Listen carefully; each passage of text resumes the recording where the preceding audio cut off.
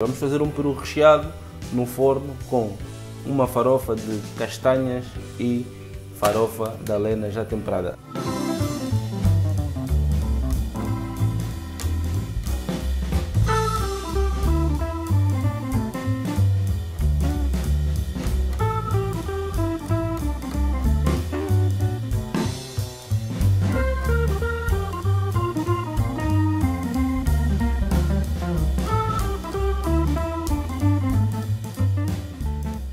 Espero que estejam todos com boa disposição, num ambiente festivo, com calma, com a família, a curtir o ambiente e nós aqui também no Cozinha Valente estamos preparados para trazer receitas deliciosas e maravilhosas. Hoje estamos aqui acompanhados com uma nossa amiga e companheira Farofa da Lena.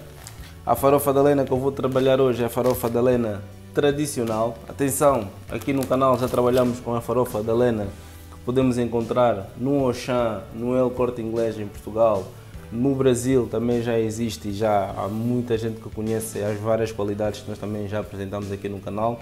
Hoje vou apresentar aqui uma receita com a farofa da lena tradicional e o nosso ingrediente principal hoje, ou a nossa proteína, vai ser aqui um peru. Vamos fazer uma receita em três fases, ok?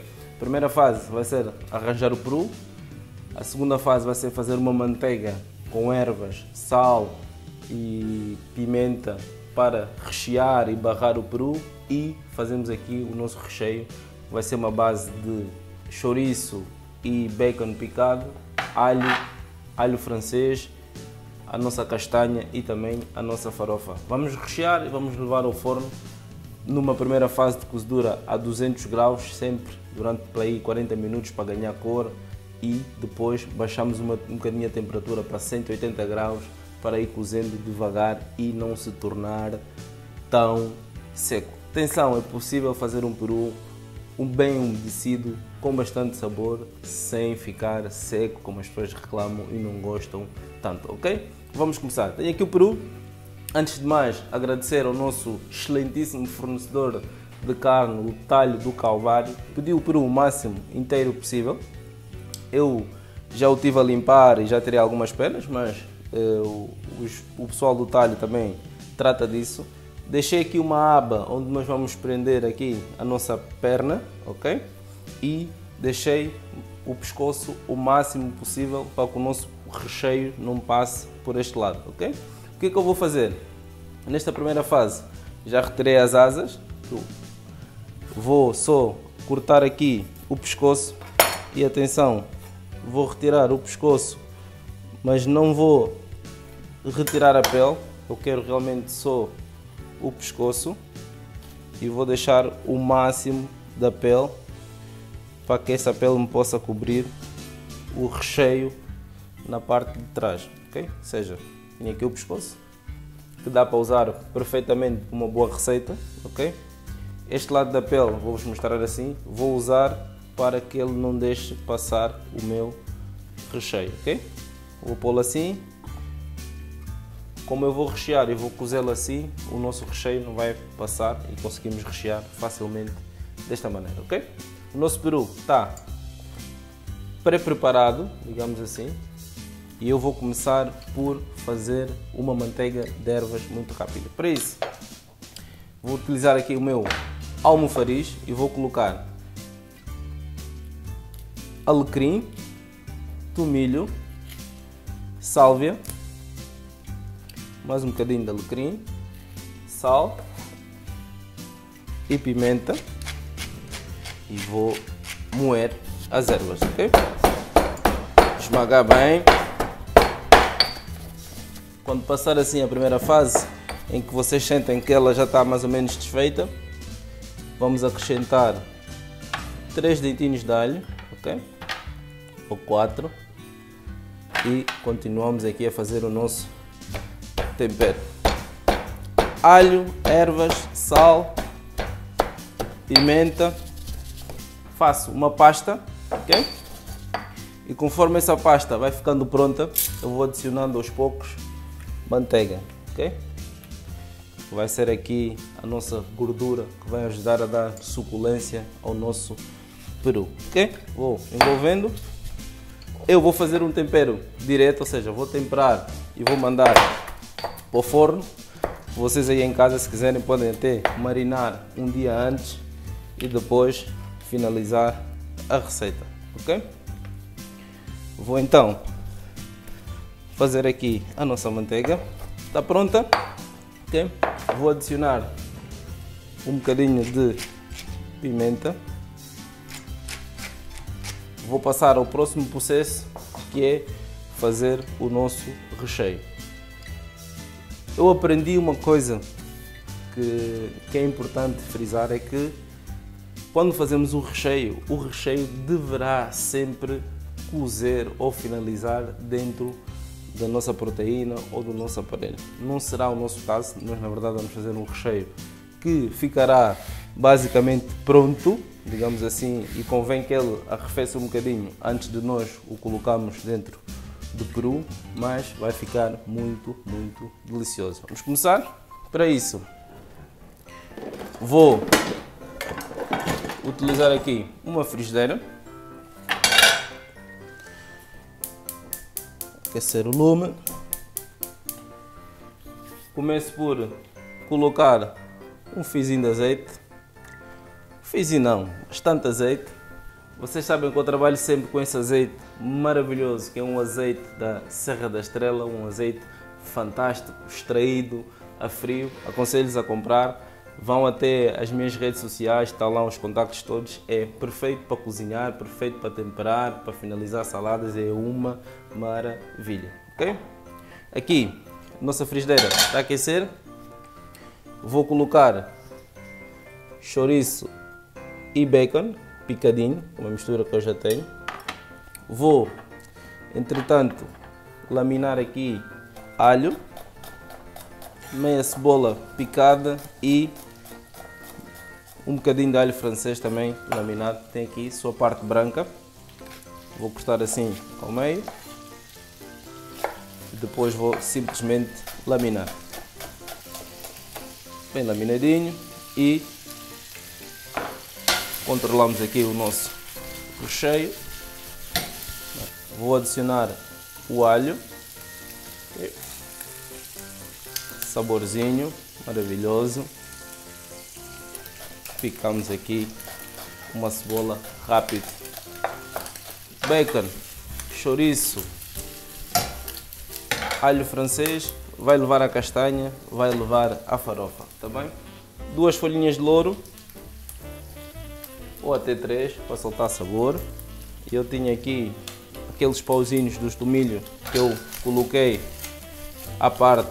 Podemos colocar aqui para soltar o máximo de sabor. Vou utilizar folhas de tomilho. Atenção que tomilho, alecrim, sálvias são ervas fortes, ok? Aguentam bem a temperatura.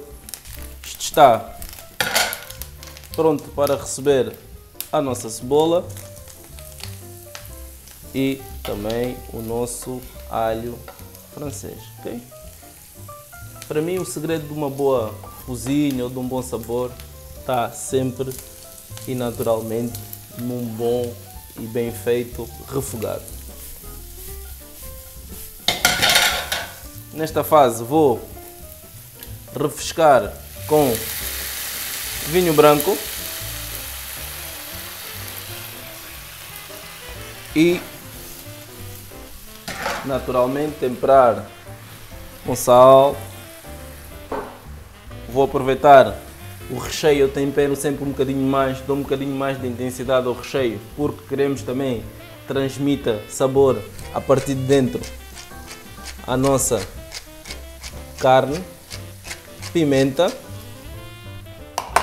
e vou adicionar aqui uma coisa que eu tenho, que é este caldo de aves reduzido. Aquele caldo de aves que a gente já fez aqui no canal, sigam lá, vão aqui até o canal e vejam aquele caldo de aves. É só reduzir mais um bocadinho e ele torna-se assim, nesta gelatina que aqui está, ok? Vou sentir o cheiro do álcool, já perdeu a altura ideal para colocar aqui o nosso caldo de aves reduzido, ok? reduzir mais um bocadinho, tem mais sabor.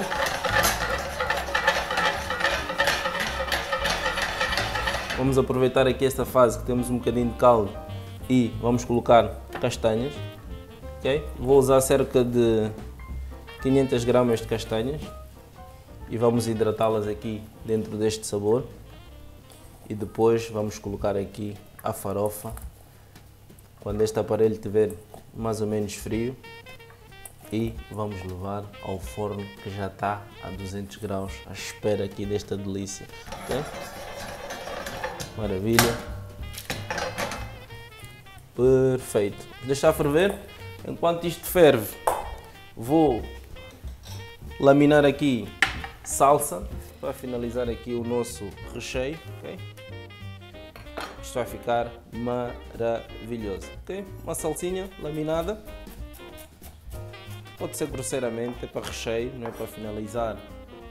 Não precisa estar picadinho fininho, fininho, fininho. Ok? Assim bem grosseiro. Vamos agarrar aqui o nosso peru. Para começar a temperar o peru por dentro, sal, ok? Não tenham problema em colocar sal bem dentro do peru. Maravilha. Parte de dentro tem que ser bem temperada, ok? Atenção, que aqui uma incisão que o peru vem, quando vocês o comprarem, que ele vem para ter esta dobra, ok? Que vai ajudar depois quando nós o fecharmos e rechearmos, ok? Vou dar pimenta lá para dentro. Vou aqui utilizar a nossa manteiga de ervas e vou barrar a parte de dentro, ok? Seja, dentro do peru, manteiguinha com ervas que tem bastante sabor. Claro que isto vai derreter, mas vai soltar aqui muito, muito sabor. Uma parte do recheio, uma parte do recheio vai ser toda ela colocada aqui para dentro. Vocês podem ver o peru tem uma abertura enorme, ok? E colocamos a manteiga, depois vamos colocar a manteiga por cima também, ok? Maravilha. O nosso aparelho está prontíssimo, deixem provar. Hum, maravilha. Hum, muito bom. Tá bom? Tá no ponto. Vou desligar. ok? Tá assim, bem umedecido, porque vou pôr a farofa. A farofa naturalmente é vai hidratar um bocadinho, né? vai ficar um bocadinho seca, vai recolher logo este suco todo, tá bom? Vou utilizar uma embalagem, cada embalagem traz cerca de 250 gramas tá e vou colocar assim dentro do nosso aparelho. Ora, uma voltinha. Isto vai secar vai dar aqui uma estrutura muito boa. Okay? Uma embalagem. Perfeito. E naturalmente a nossa salsa. Toda ela. Fazer aqui uma farofa de castanhas. Bem boa. E vamos introduzir isso dentro do nosso peru, ok? Maravilha. Vou retirar aqui os talos maiores, porque também já fizeram a sua função, que era naturalmente soltar sabor. Vamos aqui introduzindo. Atenção só, a pele tem que estar para baixo. Empurrar o máximo para lá, ficar bem recheadinho. Este prato é um dois em um. A guarnição já está dentro. A guarnição já está dentro do nosso peru. Escusa estar preocupado com isso. Se quiserem fazer um molho à parte, é utilizar o molho da cozedura e depois turbinar, dar sabor. Okay? Preencher bem o espaço, sentir aqui esta zona, a ver que o recheio está bem colocado. Okay? Vão pondo com calma, sem pressa, bem para baixo. A farofa ajuda aqui a dar uma certa compactização. Okay? E vamos empurrando o máximo, o máximo, o máximo para preencher lá bem no fundo o nosso peru. O peru bem cruzado, ok? Para vocês garantirem que fica bem fechadinho, eu tenho aqui um truque. Utilizo aqui um palito, ok? Que eu cruzo de um lado para o outro na perna, ok? Vou colocar aqui um segundo palito só para garantir que o nosso recheio não foge tanto, que é aqui um bocadinho mais para prender a perna, ok? Fica aqui com um duplo palito que eu vou acho que vai ficar melhor. Tenho aqui um tabuleiro, vou colocar o peru e agora a parte importante que é barrar aqui com a nossa manteiga de ervas o nosso peru, ok? Aqui no peito, colocar bastante, ok? Atenção, tem sal, tem manteiga, tem ervas, tem tempero, ok? Temperamos também a parte de dentro. Durante a confecção convém ir de alguma maneira barrando também com o próprio suco, mas agora ele vai entrar no forno a 200 graus, vai ganhar aqui bastante sabor e amor, que é aquilo que a gente faz aqui no Cozinha Valente. Okay? Peru, os palitos ficam feios aqui, mas vão ser bom no sabor. A pele de trás sempre para baixo, o recheio não fugir, ok? E está maravilhoso. Para terminar, vou dar um toquezinho de azeite para ajudar aqui a suportar também a temperatura, até porque a manteiga queima rápido. Mais um toquezinho de sal.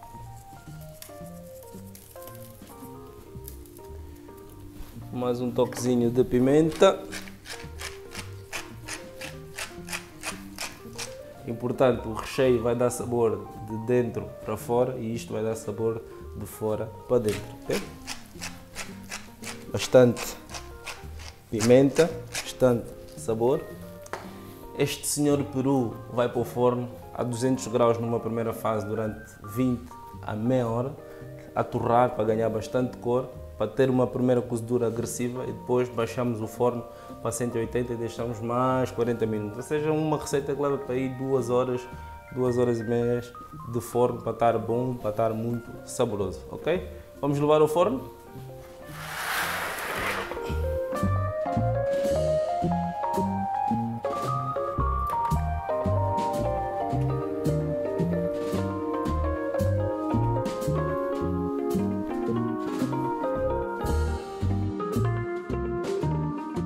Vamos então retirar aqui os palitos que ajudaram a nossa cozedura. Atenção, isto ainda está um bocadinho quente, ok?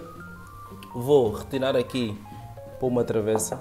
Importante, retiramos do forno, deixamos cerca de 10, 15 minutos a descansar bem, se formos servi-lo logo, para que consigamos ter a carne bem suculenta e descansada. Vou agarrar nisto e vou simplesmente virar aqui para uma travessa como uma boa apresentação de Natal familiar, levar assim o peru inteiro à mesa, vou fiz aqui uma pequena buquê que eu vou introduzir aqui por cima, bonito, e naturalmente vou agarrar neste suco e banhar aqui o nosso peru.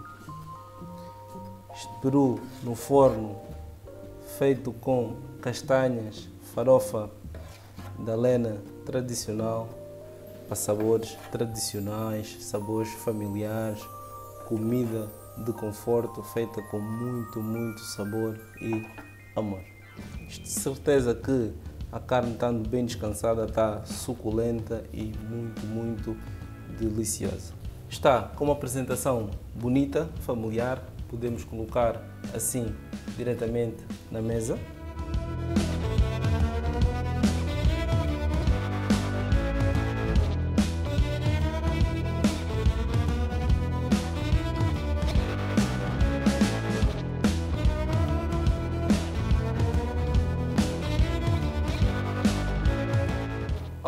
Podemos naturalmente levar a mesa assim. Mas eu vou fazer um pequeno empratamento.